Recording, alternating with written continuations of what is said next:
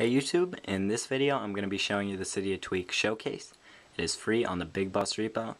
And what it does is shows you whether the next letter you're going to type is uppercase or lowercase.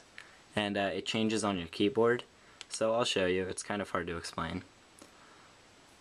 So if we open up the keyboard here, so generally the keyboard is all uppercase just like this. But with Showcase, if you take off the uppercase, um, the letters actually switch to lowercase letters. And um, it works really well. I haven't found any glitches with it yet, so if I type out some letters here, you can see that it switches if I tap the uppercase or type a letter after tapping uh, the shift button. And um, it works well. Again, um, I haven't found any glitches. And there aren't any settings to configure. It just um, changes on its own. And if you want to uh, go back to the standard keyboard, you just have to delete. So really that's about it. It's a really simple app, but um, it's really nice if you prefer the lowercase letters. Um, that's it. Thanks for watching. If you're new and like the video, um, be sure to subscribe.